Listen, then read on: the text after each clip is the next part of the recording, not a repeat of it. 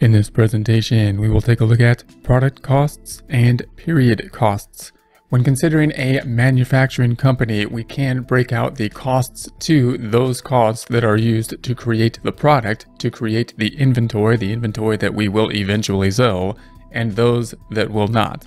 Support accounting instruction by clicking the link below giving you a free month membership to all of the content on our website broken out by category, further broken out by course. Each course then organized in a logical, reasonable fashion, making it much more easy to find what you need than can be done on a YouTube page. We also include added resources such as Excel practice problems, PDF files, and more like QuickBooks backup files when applicable. So once again, click the link below for a free month membership to our website and all the content on it.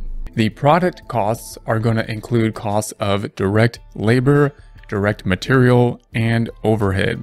So we just want to memorize these types of things as the, the three main categories we will be using when we manufacture inventory, when we make the asset of inventory, when we make the stuff that we're going to sell. That stuff is comprised of not just stuff, meaning not just direct materials. In other words, the creation of something like a guitar that we intend to sell is not composed of just the materials in the guitar, the woods, the strings, and whatnot, but is substantially composed of other things such as labor and overhead.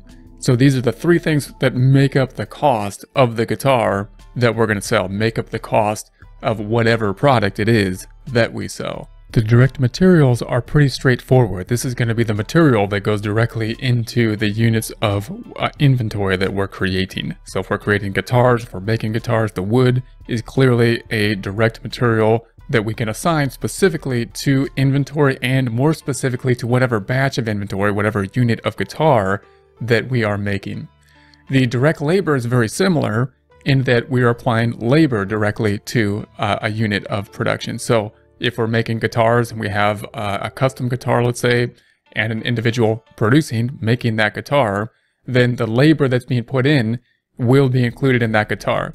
And again, it's a little bit less conceptual to think about that, the labor is being included in the guitar. It's not physically in the guitar, it's something that's intangible within the guitar. But when we think about the cost of the guitar, it's far more than just the, the wood that's in the guitar. The, the cost is primarily the labor that's going to be in the guitar, the thing that converts that wood into something useful, a guitar.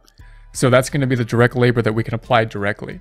And then we have this bucket of overhead, the most confusing bucket, the bucket we're going to have to do something about something with, and those are going to be things that we cannot apply directly to a specific unit. So if we're, or a specific area.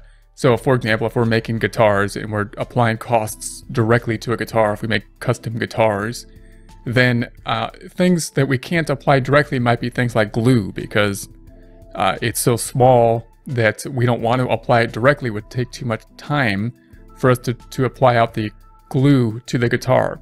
So to track the amount of glue we use and whatnot.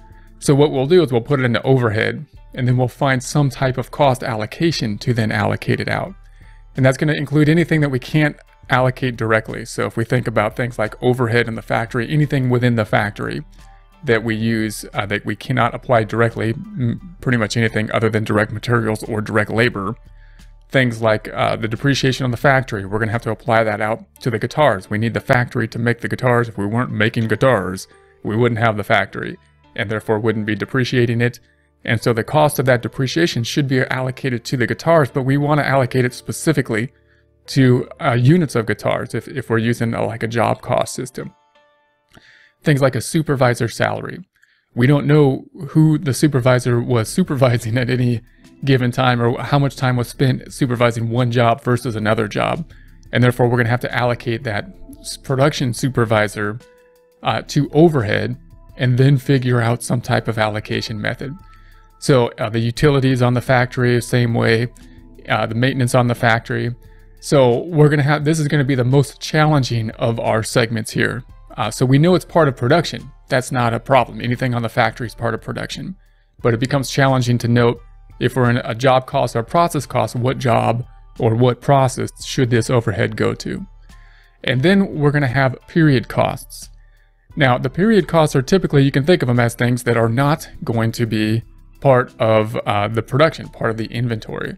These costs up here, direct labor, direct materials, and overhead, are going to be costs, the production costs, are going to be costs that we're going to use to create the product. And therefore, they're going to be capitalized when we uh, use them. And this this will seem a little unusual if you're used to looking at a service company, because when we do something like pay wages, for example, we're not used to, we're pretty much used to just saying it's going to be a wages expense. And in here, we're going to put it as part of the inventory, an asset. When we when we use materials, we might think of it as a materials expense. We're going to capitalize it as an asset. Uh, when we do things such as overhead, depreciation, and things like that, we're used to saying depreciation expense and expense. But here we're going to capitalize it because it's part of the product that we're going to make. When are we going to expense it? When we sell the product.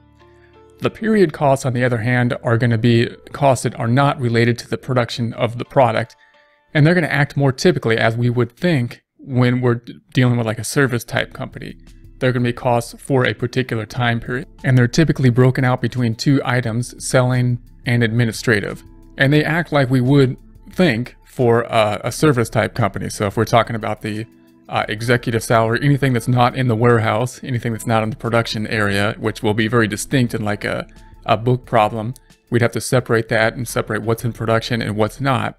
If we're talking about the corporate office that's not in the production, anything in there will probably act very similar as to a service company, meaning if we pay the salary of administrative staff or the accounting staff, then that's going to be done during the period because the cost was incurred during that period. We, we paid people in order to do the job that time period. The matching principle would then allow us to expense it at the point in time that basically the wages happened for the most part.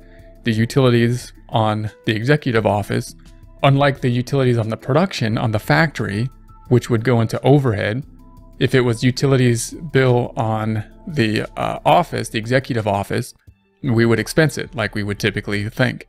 If we're talking about depreciation, if it was depreciation on the executive office, we would depreciate the expense. If it was on the factory, we would include it in, once again, the inventory in some way. So these selling and administrative expenses are typically going to act a little bit more like uh, we would think if we're used to uh, having dealt with companies that aren't production companies, that don't deal with making inventory uh, companies that either buy or sell inventory or companies that are service companies. As you would imagine, most of our time here is going to be up here in the in the production cost to make the product. One, because that's the most interesting part, because that's where we have to all the activities happening within within a manufacturing company that we have to track all this stuff. And two, because that's going to be something that's different than uh, other types of, of industries. Therefore, that's where we want to focus our time. If we look at some examples of the type of classifications we've had uh, so far, we had variable cost versus fixed cost, direct or indirect cost, and product or period costs. So if we think, let's look at some examples and think about where they would go in these cost allocations.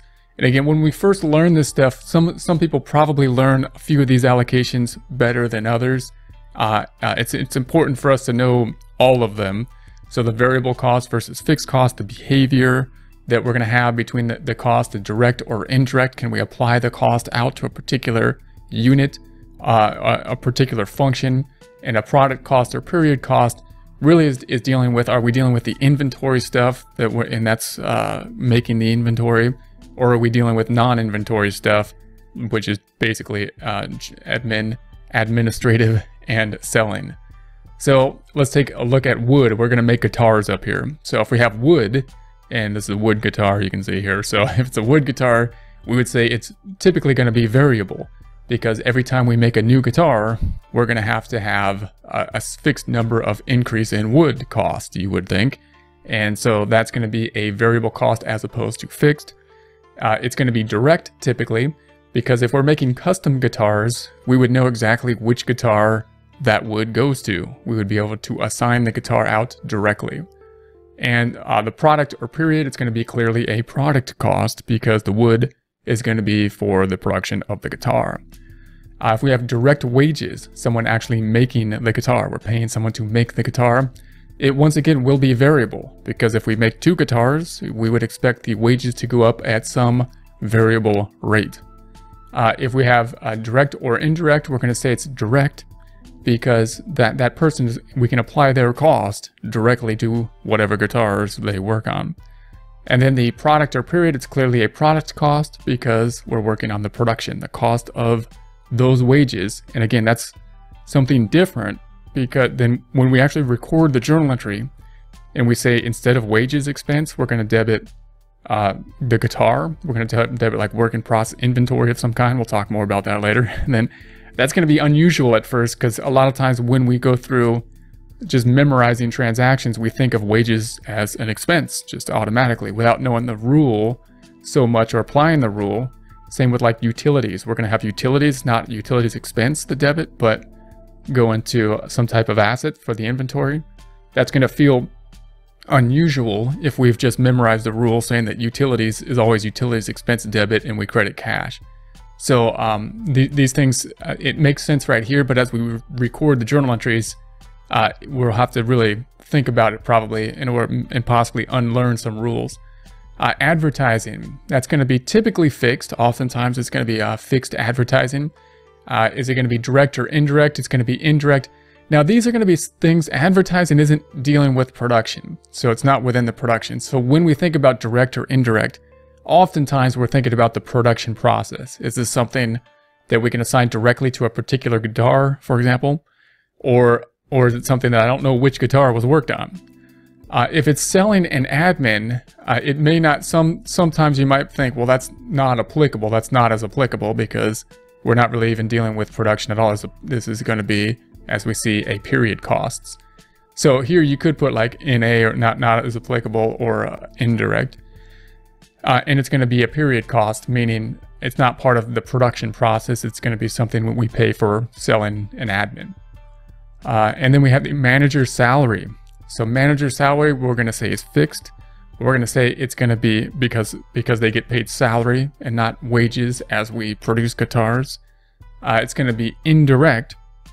Uh, if they're managing the warehouse, then again, we don't even know which guitar they're actually managing uh, there. You know, so we're to have to apply their cost out to the guitars in some format. And we're to say it's a product cost because we're to say they're managing the warehouse. So this is to be a fixed cost as opposed to what we would think the, the workers of the guitar would probably be variable. We're to say this was an hourly, this is salary. Uh, it's indirect even though they're in the warehouse because um, we don't know which guitar they're working on. We don't know who they're supervising, uh, but we're to have to allocate that somehow. And it's going to be a product cost because they are in the warehouse. So uh, we're, we're going to have to allocate it out somehow. Uh, admin equipment depreciation. So if we talk about the depreciation depreciation for the administrative office, like the fax machines or something like the, the copy machines or something like that, where depreciation in the administrative office, not the factory. Uh, we're going to say it's fixed, it's depreciation. We know exactly what it's going to be. It's going to be indirect or not applicable because it's not in the production. It's not in the warehouse. It's not going to the making of uh, the product. And then it's going to be a period cost because it's in the admin, it's in, it's, it's in the administrative office, and therefore it's not part of production. So it's not going to be in the in the production area. And then we have factory depreciation. Factory de depreciation on this type, it's both depreciation here, but notice if it's on the factory, it's still going to be fixed because we know exactly what the depreciation will be. Uh, you know, it's it's a set amount. Uh, it's still going to be indirect not because it's not in the factory this time, however, it is in the factory, meaning it should go into the production of our guitars, but we don't know which guitar it's going to go to. It's the, the, we made all the guitars in the factory. So how, if we have a job cost system, how do we apply it to a job? If it's a process cost system, how do we apply it to a process? And so it's going to be a product cost. So it does apply to the product, but it is indirect because I don't know which product exactly it goes to something like glue that we use to make to put the guitar together. It's going to be uh, variable because it changes uh, with the number of units of guitar. We're going to need more glue uh, with more guitars. It's going to be indirect, however, because we don't really know how much glue we used on one particular guitar. So we don't know, uh, we can estimate it and that's what we'll have to do, but we don't know exactly what that estimate should be. And then it's going to be a product cost. So it's going to be part of the production process. So, and the, the idea here on glue is it's going to be pretty small compared to, to uh, something like the wood. So if you compare the glue and the wood up here, then we're going to say, well, the wood is variable, but it's direct because I can I can assign, you know, I probably had to assign the wood that I that I took out to a particular job. Whereas the glue down here is, is, is variable, but it's not direct because I probably didn't have to go assign out the to get the glue. I just went and got the glue. I didn't have to get get any kind of documentation telling me how much glue I'm going to get to put put to a particular job. It wouldn't be worth our time to track that, and therefore it's going to be an indirect cost that we're just going to have to take that glue, whatever we uh, paid for the glue overall, and allocate it using some kind of allocation method. Sales commission. So commission on the sales, it's variable, which is unusual for a period cost. So this is a period cost that would be variable. Uh, it's going to be indirect or not applicable because it's not part of the production process. And it's going to be a period cost. So this is one of those costs which are a little bit confusing uh, because it most period costs are oftentimes fixed. So most salaries are fixed that are in the in the corporate office. Uh, we don't typically have a lot of variable costs with the with the sales, uh, except for the commission here.